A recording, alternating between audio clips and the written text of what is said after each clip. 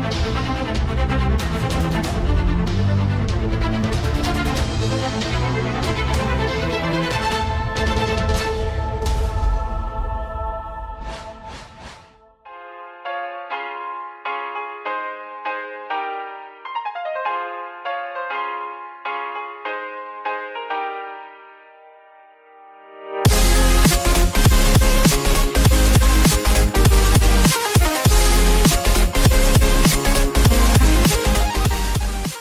Welcome to Abbas Gallery channel.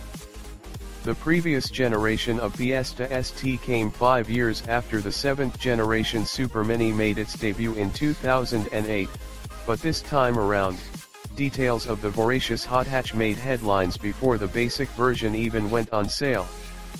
The ST made its international debut at the 2017 Geneva Motor Show, where the evolutionary developments made to the exterior were seen by thousands of visitors. The car displayed at the show revealed big changes to the ST's cabin in terms of technology and design. Perhaps more exciting for petrol heads, however, there will also be a new setup under the bonnet.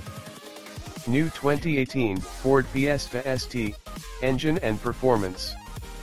Shockingly, the 2018 Ford Fiesta Street will, in certain circumstances, run on only two cylinders, as the new downsized three-cylinder turbo motor features cylinder deactivation technology. So out with the old 1.64-cylinder turbocharged unit, and in with the new 1.5-liter three-cylinder turbo engine. Ford claims the new motor produces 197 bhp, 17 bhp up on the output of the motor in the outgoing Fiesta ST, but equal to its figure on overboost. Gains in peak torque are clear-cut, the figure swelling from 240 Nm to 290 Nm. In terms of performance, Ford claims the new ST will crack 0 to 62 miles per hour in 6.7 seconds, two-tenths of a second faster than the outgoing car and on PAR with the limited run ST200 model. Top speed has not yet been revealed, but above and around 140 miles per hour seems a safe bet. Naturally, the downsized motor will be cleaner and more efficient than the outgoing four-cylinder.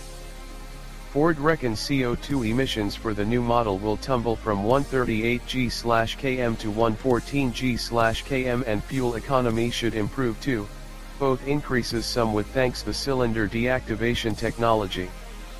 From launch the new Fiesta ST will be available in both 3-door and 5-door body styles. In terms of design, it cuts a close look to the standard new Fiesta in ST line trim, but with a slightly more aggressive front bumper and grille, a painted rear diffuser, and exclusive 18-inch alloy wheels.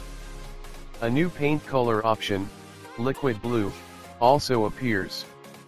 In the new cabin, Ford promises greater levels of personalization than before.